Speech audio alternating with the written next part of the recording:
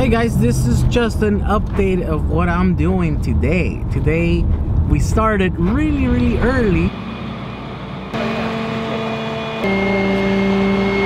We got on the road with the Phoenix. Phoenix is the Eric Lundgren's car and we are attempting to break a world record today or to make a world record uh, for distance. But I'll tell you what, you were right. Black looks way better than silver.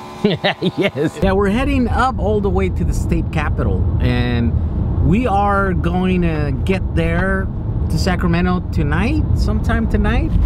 But then tomorrow morning, we probably are gonna go to the state capitol building, right? Wherever that building is at.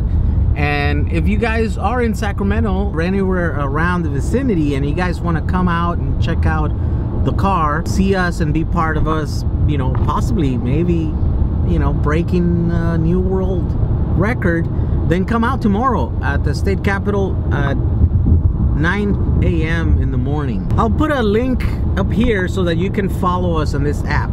Eventually, after in the afternoon, we're gonna go and stop at the Apple headquarters and then at the Tesla factory. And so if you guys around there want to come out and meet us, then you can follow along our route and then meet us there. We're up for meeting you guys and, you know, saying hello and all right.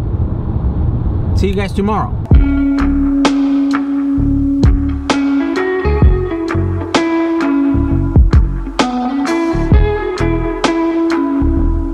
right behind me!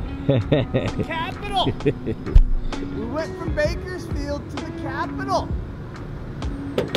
She's still got so much juice, dude. Hey!